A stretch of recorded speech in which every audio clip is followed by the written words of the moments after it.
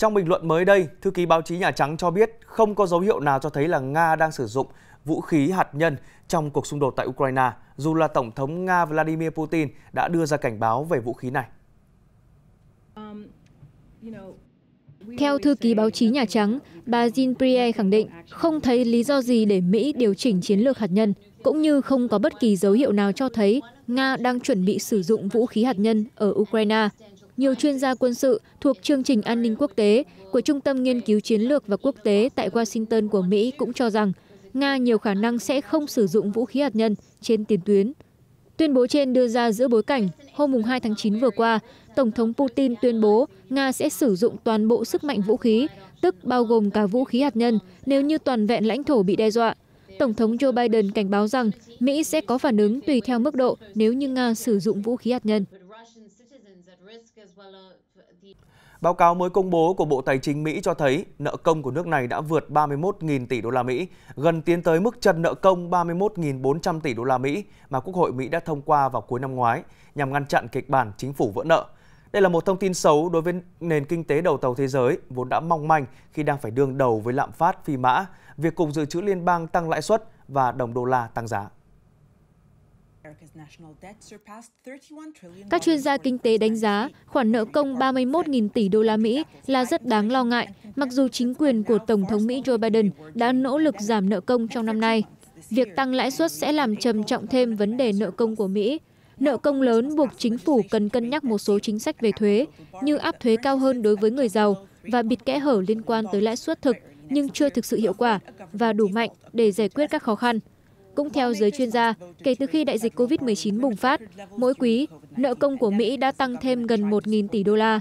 Dự báo tỷ lệ lạm phát cao kéo dài sẽ khiến chính phủ Mỹ phải trả giá đắt cho những chính sách tăng chi tiêu và tăng cung tiền mặt. Pakistan đã cạn nguồn tài chính để chi cho hoạt động phục hồi sau trận lũ lụt nghiêm trọng gần đây.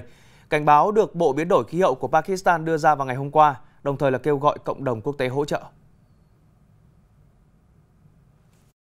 Tổng Giám đốc Tổ chức Y tế Thế giới WHO cảnh báo Pakistan đang đứng bên bờ vực của một thảm họa y tế công cộng. Pakistan đang cần khẩn cấp thuốc men cho 8,2 triệu người và sẽ cần thêm lương thực vì mùa vụ đã bị lũ cuốn trôi.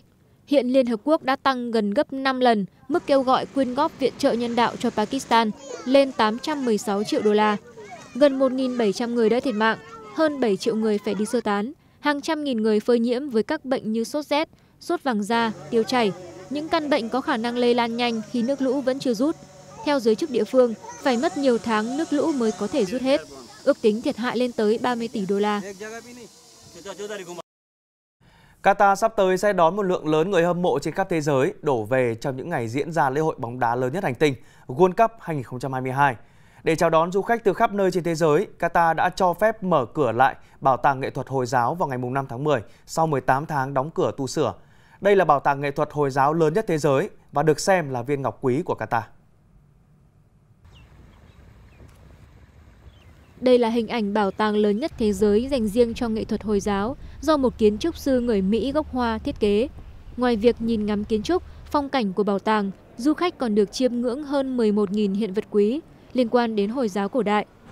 Công trình 5 tầng màu trắng này trưng bày hơn 800 tác phẩm nghệ thuật và lịch sử từ ba lục địa, nêu bật văn hóa Hồi giáo từ thế kỷ 7 đến thế kỷ 19.